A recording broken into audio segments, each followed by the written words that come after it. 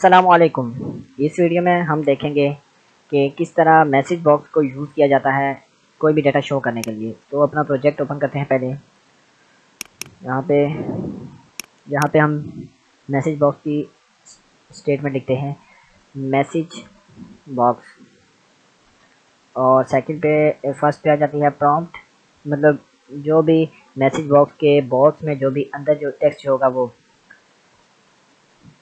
Coma coma के बाद इसका फॉर्मेट होता है, यानी मैसेज बॉक्स का फॉर्मेट दिया जाता है जिस तरह यहाँ पे लिखते हैं V B okay okay only यानी सिर्फ़ ओके का बटन होगा प्लस और V B information V B information यानी एक आइकन इंफॉर्मेशन का आइकन होगा, इसके साथ और एक साउंड होगी वी बी इंफॉर्मेशन की. और V B and default button one comma last में हम टाइटल देते हैं तो टाइटल इसको देते देते हैं कॉपीड का. तो अभी इसको हम रन करते हैं।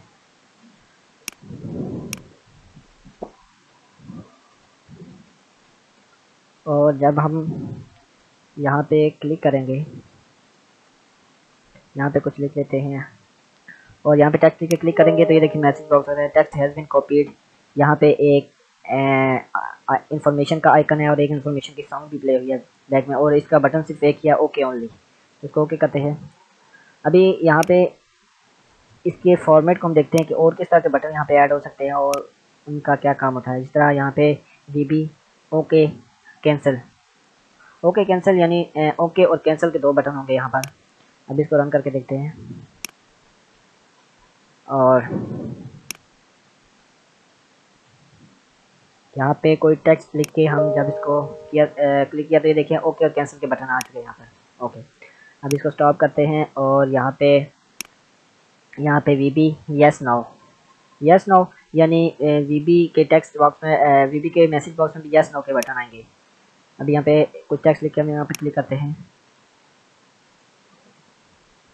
ये देखें, यहाँ पे एक यस और एक नो का बटन आ चुका है।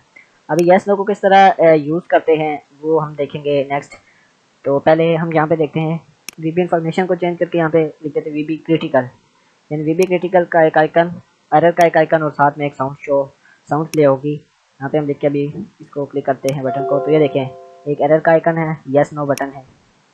अभी यहाँ पे इसको ओके ओनली कर देते हैं।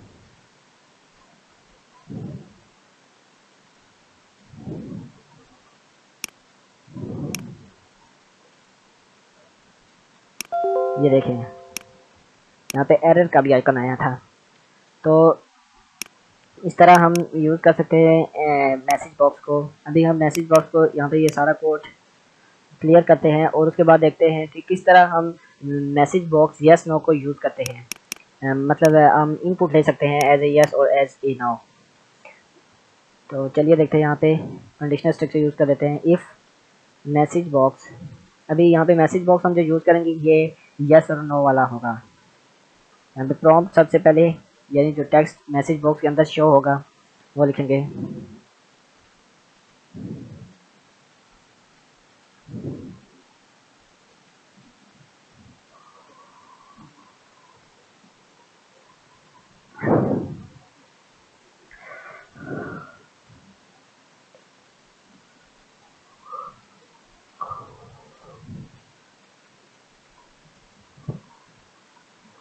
कॉमा और इसी तरह कॉमा के बाद इसका फॉर्मेट हम स्पेसिफाई करेंगे।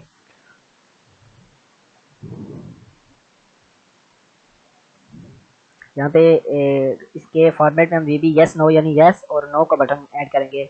कॉमा लास्ट में इसका जो टाइटल है वो ब्लैंक रहने देते हैं और is equal to V B और no no V B yes यानी अगर इसका रिस्पॉन्स यस है यानी जब ये मैसेज बॉक्स शो हो अगर इसका बटन यस पे क्लिक किया जाए, तब ये नेक्स्ट स्टेटमेंट एग्जीक्यूट होगी।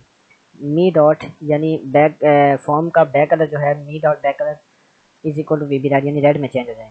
एंड इफ़ यानी इफ़ जो इफ़ कंडीशनल स्टेटमेंट है, वो यहाँ पे एंड हो गई है। अभी हम इसे क्लिक करते हैं तो यहाँ पे हमसे ऑप्शन पूछ रहा है do you want to change colour of your form हम नो करते हैं तो कोई कलर चेंज नहीं हुआ जब हम इसी मैसेज बॉक्स में यस पे क्लिक करेंगे तो ये देखें, जो बैकग्राउंड कलर है, इसका वो चेंज हो चुका है।